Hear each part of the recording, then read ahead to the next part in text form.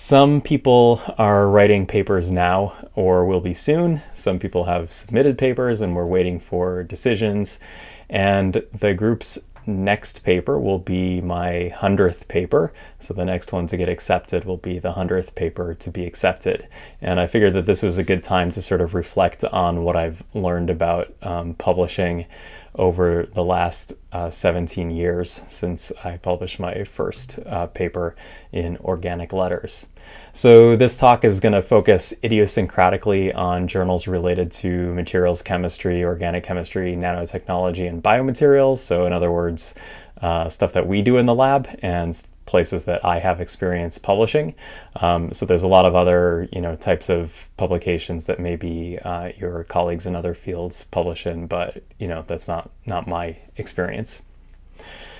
So uh, published my first paper 17 years ago, and that was the total synthesis of basiliskamides A and B uh, in organic letters, and uh, that was as an undergrad at BU. And then in the intervening time, uh, the process of publishing has gotten more annoying and less exciting uh, to me now than it was then. Um, I think in general, uh, what we're doing with the mechanical properties of organic semiconductors is still uh, very well received, um, uh, and uh, and I think that the standards for rigor have really increased in that field, largely due to uh, to our efforts. So uh, we have a lot to be proud of for that, and I think our lab is sort of regarded, you know, as as one of the first, or maybe the first lab to spend a lot of time thinking about uh, mechanical properties of organic semiconductors and really using chemistry as a tool to understand them, you know, rather than just uh, sort of all off the shelf stuff. So that's a good place to be. We should absolutely be proud of it. And in general, those papers that are sort of on physical organic chemistry of uh, conjugated polymers and mechanical properties, those papers are still getting accepted um, and, uh, and no, no, you know, no problem there. Um, but uh, however, we're doing a lot of stuff now that has never been done before uh, in terms of combining material science and materials chemistry with haptic interfaces, doing human subject trials on haptic materials that we synthesize in the lab. And there's really no natural home for this stuff. And, you know, I guess it could be you know, look how special we are, how uh, interdisciplinary we are, but that's really where the knowledge is to be created, in my opinion, is the space between fields. So as a result, our overall rejection rate has gotten a lot higher in the last couple of years. Um, but uh, and and I'm I'm becoming more more and more annoyed at the type of reception that our uh, our work is uh, is getting. Um, so I'm getting uh, I'm I'm I'm getting kind of more annoyed about like finicky reviewers who like take 20 minutes to read our paper and produce a referee report that's like five sentences long um, and apparently the editor takes it as uh, as a legitimate vote in as to the quality of our paper uh, versus one our own expertise and two the expertise of the other reviewers who clearly put a lot of uh, thought and scholarship into the report to provide an honest critique. Um, and those reviews apparently getting equal weight by the editor. Of course they'll say that they that they don't provide you know give equal weight to all the reviews but you know um, I uh, take take that for what it is.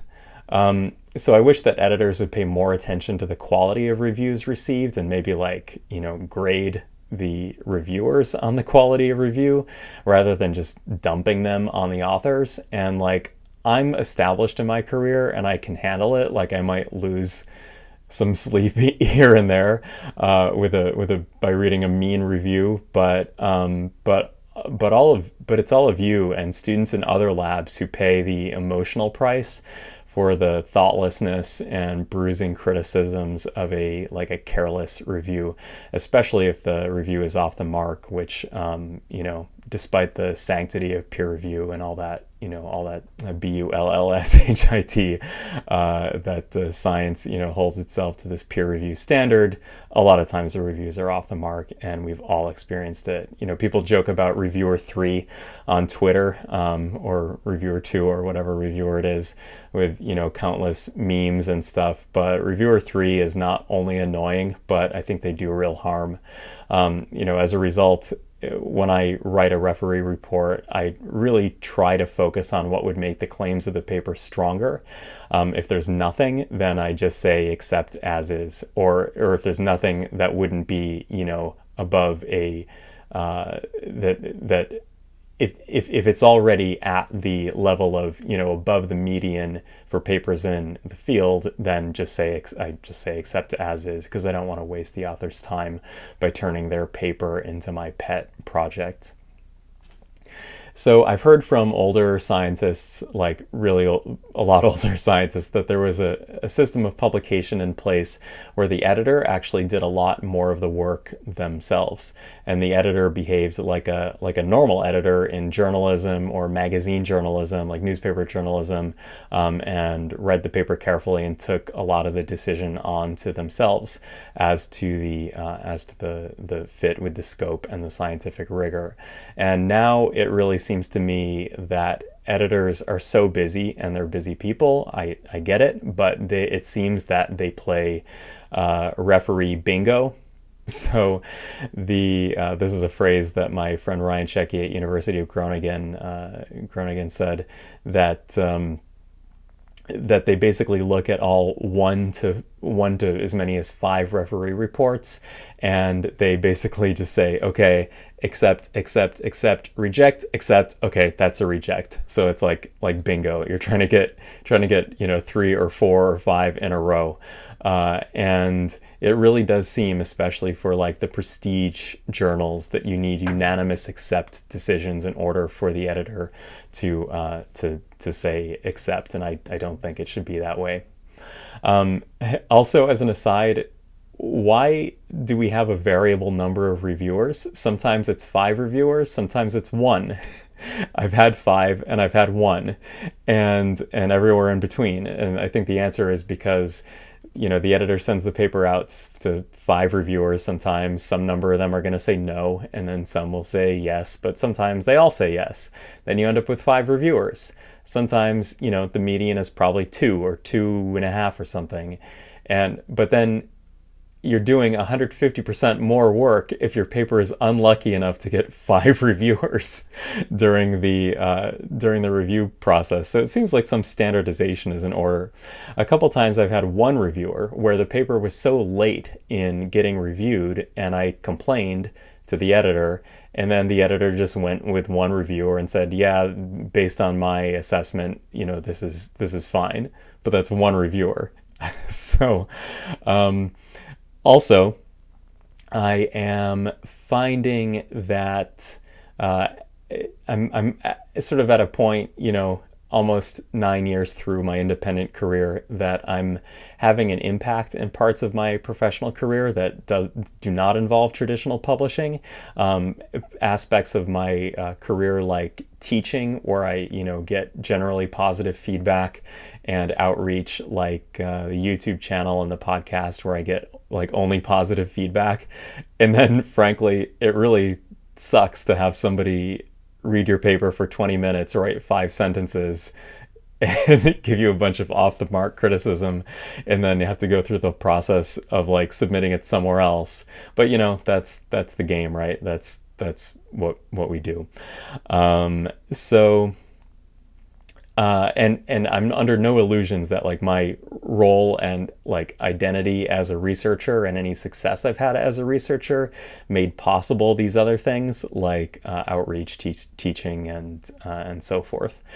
Okay, all of that complaining aside, um, all of that complaining aside, you and I absolutely must care about publishing uh, high quality research and getting it uh, and getting it out into the world. So as my old advisor uh, said, um, if we're doing stuff that does not lead to papers or another form of like dissemination, then there's really no point in doing it. Um, so also publishing a paper as opposed to a patent is a pretty sure way for basic science to get out into the real world. There's some debate about this because um, in the business world, you would say, well, you need a patent to give uh, some protection to the people that are going to operate or that are going to execute on your uh, um, on your invention. Otherwise, there's no incentive for them to do it. But that is only for a few key types of patents. Most of the time, it's the R&D departments at companies and startups that are looking up the academic literature to like figure out how to run this process. And um, and that is it's sort of an invisible way that uh, that the work we do makes a difference, but it is incredibly important.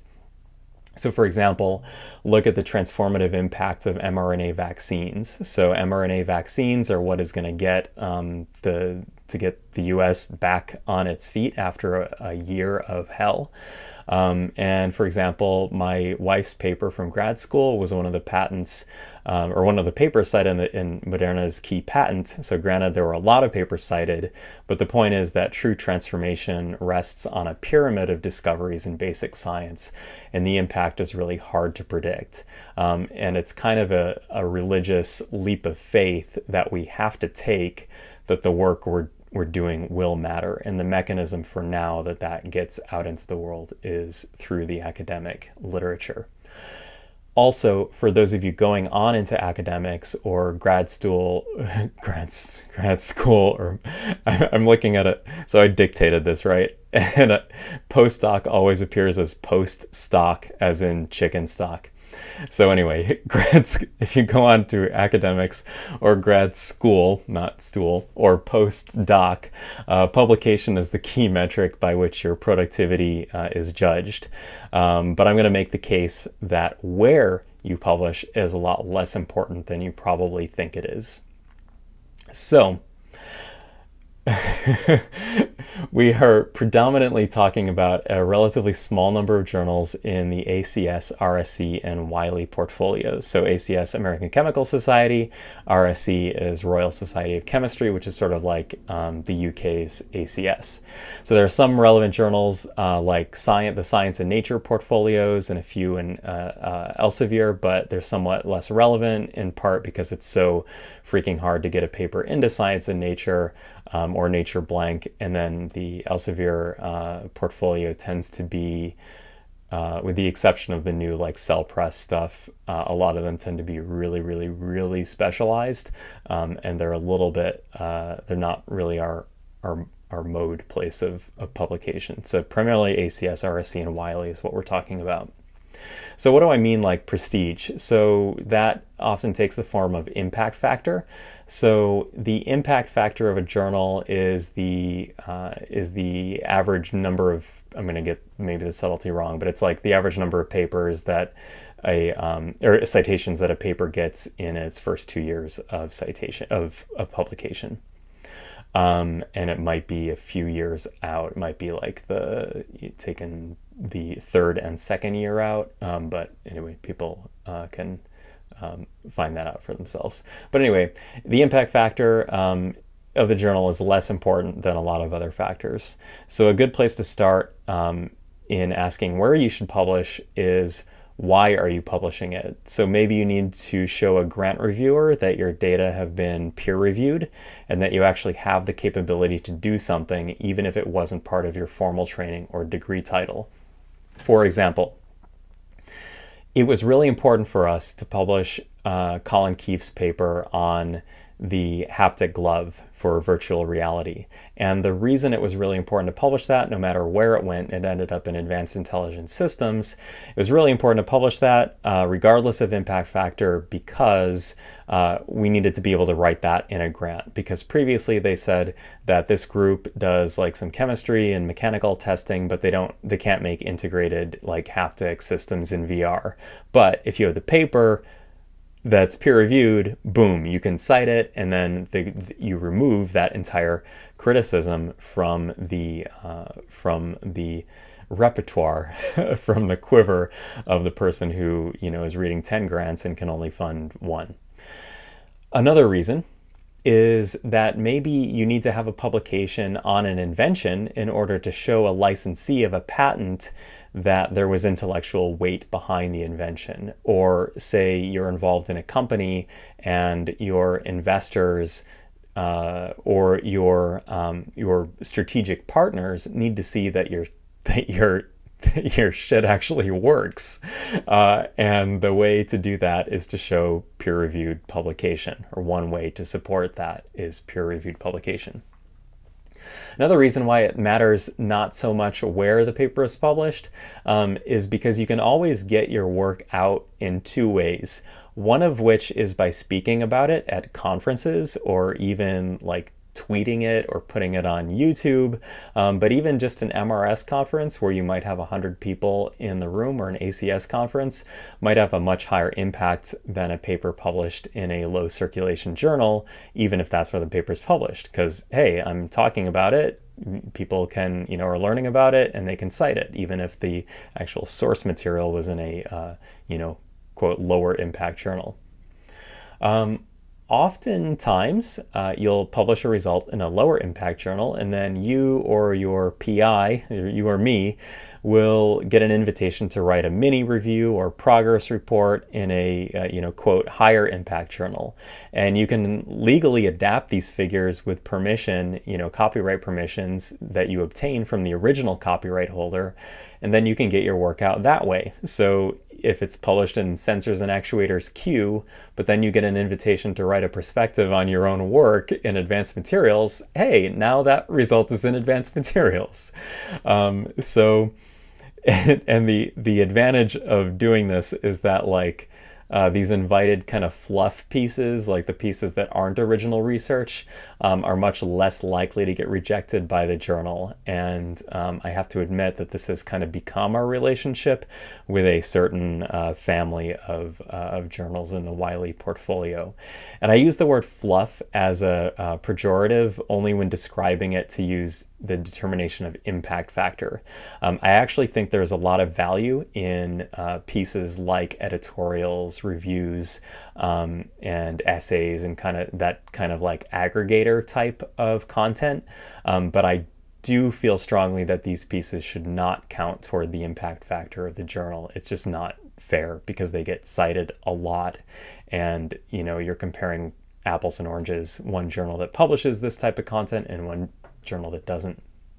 For example, um, you know, there's a reason why the impact factor of chemical reviews is higher than the impact factor of science or nature, uh, pretty, you know, pretty significantly. So there are some journals like Nanolet, uh, Nanoletters, which have achieved their impact factors without this kind of like uh, aggregator material. Um, there are others which are regarded as perhaps just as prestigious, but whose impact factors are substantially inflated um, because they put a lot of effort into special issues, editorials, essays, progress reports, and so on, and you get sort of the picture. Also, impact factor is uh, is kind of a misleading metric because there are journals that are regarded as the most scholarly journals in their field, which do not have a high impact factor. Good examples in polymer science are Macromolecules, which might be the premier journal in polymer science in the world, um, and it has an impact factor of around five. Same thing with soft matter. So, soft matter physics is a uh, you know, it has a, a very respectable intellectual uh, history and a lot of depth, but the flagship journal, Soft Matter, has an impact factor that's even lower. Lower than five, that is. So, like all content in the ACS portfolio and most of the content in the RSC portfolio, these journals are edited by peer editors. That is, people who made their names uh, for themselves as scholars in the field of uh, polymer science or soft matter. But this uh, kind of hard scholarly work, um, uh, frankly, just doesn't get that much attention, especially internationally. Um, in contrast, the next fancy wearable gadget that's really hard to do in the clean room but doesn't involve much in the way of scholarship, uh, those things get a ton of citations.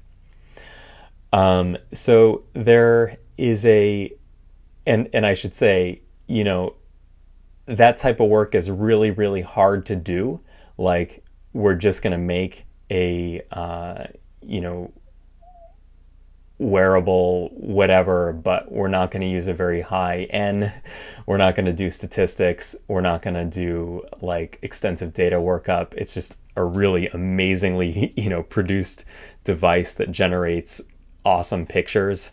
Um, yeah, that stuff gets more citation uh, on average than uh, papers that might focus on materials and mechanics issues, for example, on the same type of device. Um, there is a very popular for-profit journal in our field that exemplifies the strategy of publishing lots of aggregator papers, which get cited a lot, combined with special issues and uh, get guest edited by famous people. And they also put a lot of resources like money into search engine optimization to make sure that their uh, titles are the ones that get uh, get flagged when people Google search them. All right. So um, that said, again, I don't want to look like a hypocrite because my most cited paper is my carbon nanotube paper from my postdoc in Nature Nanotechnology, a good for-profit journal uh, that surely looked good on my faculty application, but that was far from my mode publishing experience even up to that point. Even now, um, my top three most cited papers are all from my postdoc. Actually, my top five most cited papers are all from my postdoc. The top three are in uh, are in these for-profit journals. The first in Nature Nanotech, second is in Advanced Functional Materials, and the third is in Advanced Materials. Um, but in the top five are also a number four is in Chemistry of Materials, and number five is Energy and Environmental Science. So at least ACS and RSC got in there uh, into the top five. So okay, I, I do look like a hypocrite. Top three papers published there, but since becoming a professor, we have published one original research paper in the advanced blank family. And almost all the rest of our scholarly output has been in ACS and RSC journals published by, by peer, by scholarly peer editors. Um, and the proof is kind of in the pudding. Um, I got promoted to tenure in four years and to full professor in seven years with only in material science with only one paper in original research paper in the advanced uh, portfolio. So that's uh, I I'm quite uh, quite proud of that actually. So there's a lot of talk in the group now. Um, if you think that I'm talking about you. I may be talking about you, but I'm also talking about five other people who may have been asking, uh, is this journal good enough for me? Um, that is, you know, it sure seems like there are higher impact factor journals out there, and why not just go for the highest one? And let me give you an example of why I think this uh, this really isn't an argument. Um, the and and that uh, that if you look at our, our mode journals, um, they're almost all in uh, nonprofit society journals like Chemistry of Materials, uh, Applied Materials and Interfaces, Nanoletters, ACS Nano, and Nanoscale. These are all society journals. So uh, the and, and the irony of the you know the impact factor for these like prestige journals the high impact journals is that they have really bad response times. I don't have data for this, but this is true pretty much every time. Um, the, the response times are glacial. So time to first decision, time to get the reviews back, time to get a response to the reviews, time to get the proofs back, time for them to accept the proofs, and then time to get page numbers. You'll have a digital object identifier for sometimes six months before you finally get page numbers to put on your CV. And the irony, uh, the second irony is that these journals have a professional editorial staff who don't have uh, jobs running research groups and teaching. The only thing they do is edit the journals, um, and uh, they they are are all fine people, but they tend to be very junior. They tend to be very junior people who are PhD scientists, but in general, went right from their uh, their training uh, in the scientific uh, their scientific training to the publishing world without really practicing independent scholarship. Um, there's also something about all academic publishing that really rubs me the wrong way, and this um, uh, this criticism criticism applies for for for-profit and society journals, although it seems especially egregious in the for-profit space, and that is this: journals get free content, free che- fact-checking services, and even outsource a lot of the editorial role to the reviewers.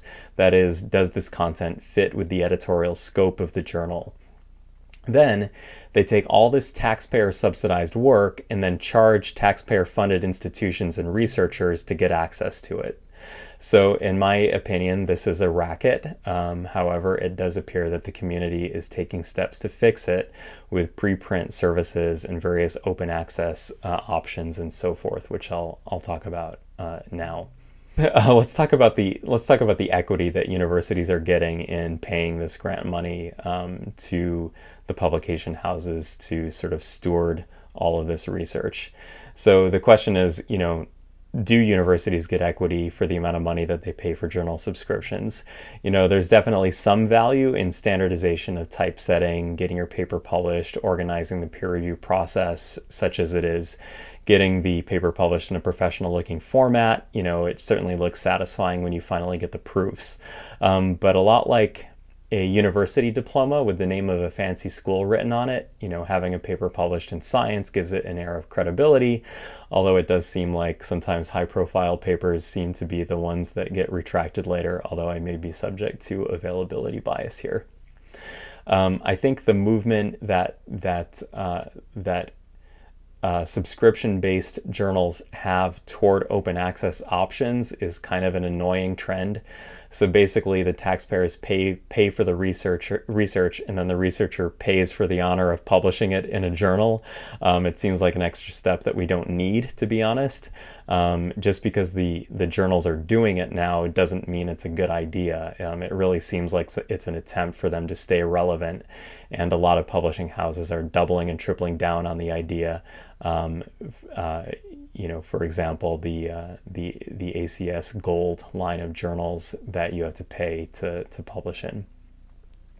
So uh, you know, it's kind of like a, a, a noble intent, and it's I guess it's you know good to have more options of where to publish in, but I I don't know if this I'm comfortable with this trend.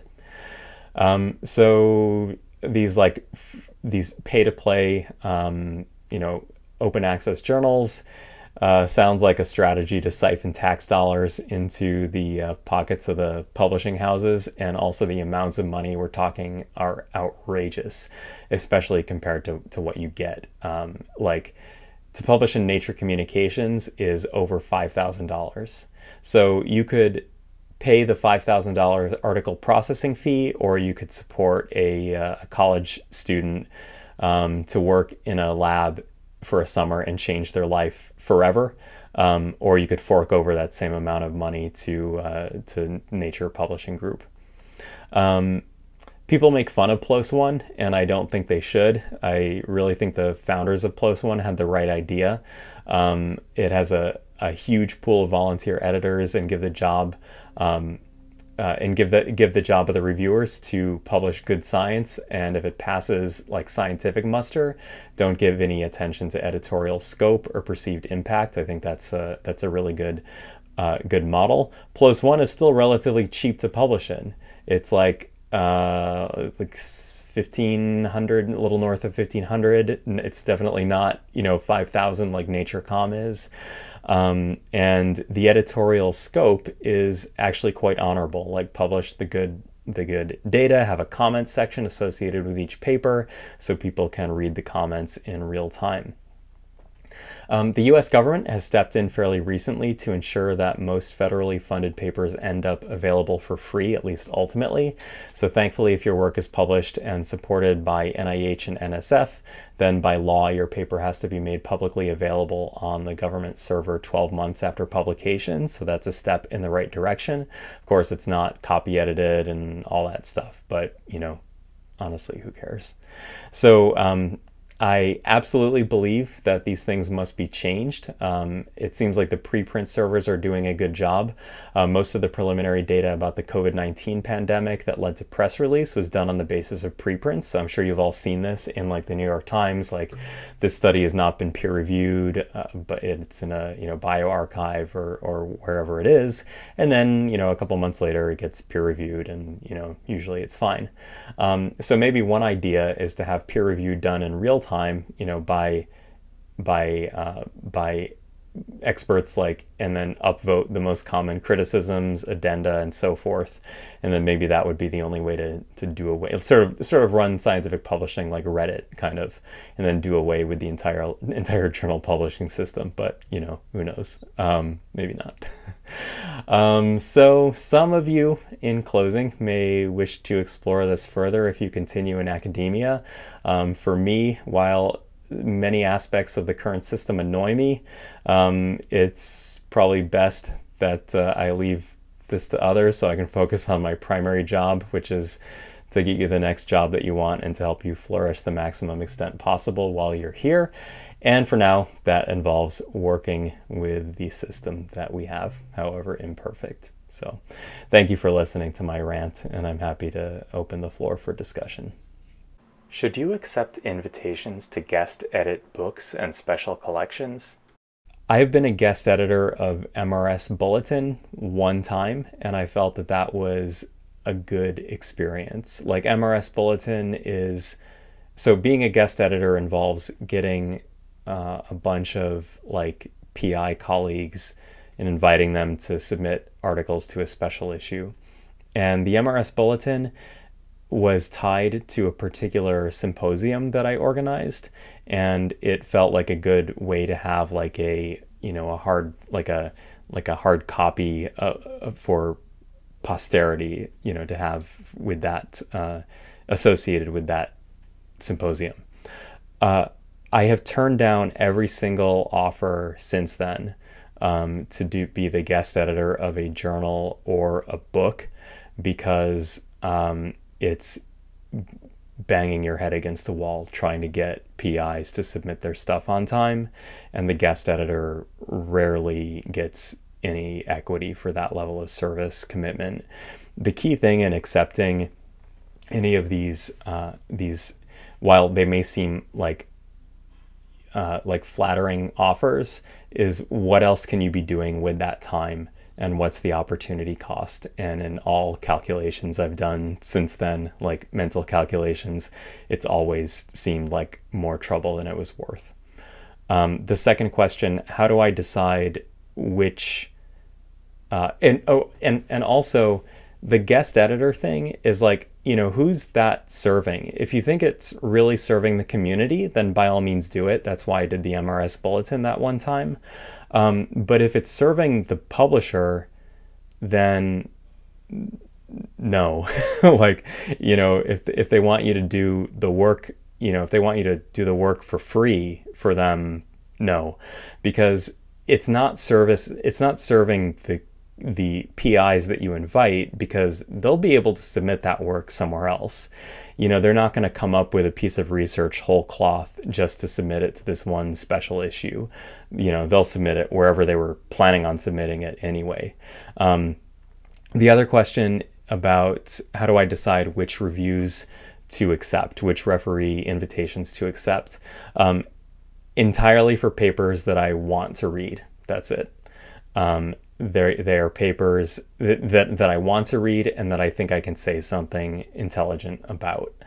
Um, I get, because we published in a lot of areas, I get a huge number of very disparate invitations and they, uh, I, I turn down all the ones that are like, you know, have the, the, so because we work in stretchable electronics, there are a bunch of like papers that I get about, you know, some kind of nanoparticle embedded in PDMS or perfluoropolyether or like polyurethane as a new stretchable conductor. Those are all, that's a really boring topic to me. Um, not, not interested unless I think there's some like real scholarship in there. I'm not, I'm not going to, to say yes to uh, to accepting it or I'm sorry, to accepting the invitation to review it. If it's something that is about, you know, mechanical properties of organic semiconductors, if it's about a material-centric approach to haptics, um, if it's about uh, you know, graphene-based strain sensors, then then yes. And also, if I think that one of you will get something uh, useful out of uh, reading it, then I'll ask the editor for permission to share it with uh, with one of you um, and they always say yes. Are you more likely to accept an invitation to review if you know the editor? Yeah, I think that's human nature. So if you if you know an editor and they but but also if you know an editor, they're a lot more likely to send you something that you can actually review. you know, if it's somebody that you don't know and they're just guessing what you do based on some quick, you know, Google search, then chances are they're gonna they're not gonna get it right. But if the editor knows you, uh, then they know what interests you scientifically. You know, you're you're less likely to turn it down. Is there ever a competition between writing a paper and writing a patent? Writing a patent is not as simple as just um, taking your manuscript and filing it as a provisional patent. Um, in order to file a strong provisional patent, you need to have that is one that's actually useful that you can use to market your product to a potential licensee. That actually takes the expertise of a patent lawyer to go through and make it a strong patent because IP is like an investment. Um, if it can't be protected or if it can't be marketed, then it's useless. So it needs to be a strong provisional patent, and the provisional patent is what you file while the patent application is under review. Usually you submit the provisional patent and then you have uh, 12 months to submit the official patent application. So the provisional patent takes money to get into a shape where it's actually worth something then the patent application takes a ton of money to get it to the point where it's worth something. The patent application fees are, or the fee is, you know, relatively low, but the amount of money that it takes to uh, to pay a patent attorney to write it properly, so that it's actually, you know, worth something and can't be engineered around easily, is on the order of 50k. And where are we going to get the 50k? So in order to get the 50k, you either have to have to raise the money from a uh, from a uh, like an an investor. Um, you have to have the cash to pay it. You have to uh, you have to win it in a competition like like Alex Zaretski did. Um, you uh, and or you have the licensee, the potential licensee pay it. So you take the provisional patent and you give it to you know, uh, whatever company you want to license it to, and they, uh, you know, they say, I'm going to support your patent application and they'll give you the money, but in return, they're going to want some kind of licensing deal for it. And that's that makes total sense. There are some like rich universities that uh, pay all the patent costs and then have a substantial equity stake in the company that uh, that is that ultimately arises from from that that might be part of the deal like say uh, i'm not exactly sure what the details were but when larry and sergey started google um, since stanford you know supported the patent costs uh, stanford ended up with a big equity position in Google. And when Google IPO'd, Stanford made over $300 million. Um, UCSD does not have and most universities don't have like a patent slush fund that they can just, you know, hand out 50K if they don't have a potential licensee. So writing a patent isn't just as simple as writing a patent. Um, as, as like writing a paper, you don't just write a patent. The patent has to have teeth, it has to be defendable, it has to be marketable, and it has to clearly show why it is uh, why it's novel, useful, and not obvious in one of three areas, which are um, which are uh, process, device, and composition of matter. So yeah, good question. That's something that comes up a lot.